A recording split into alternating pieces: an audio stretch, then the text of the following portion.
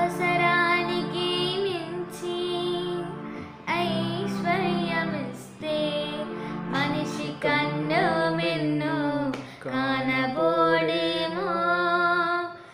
కడుపుకు చాలినంత కబలమీయకుంటే మనిషి నీతి నియమం పాటించడేమో.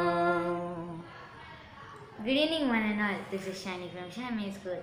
I'm gonna sing a Telugu song.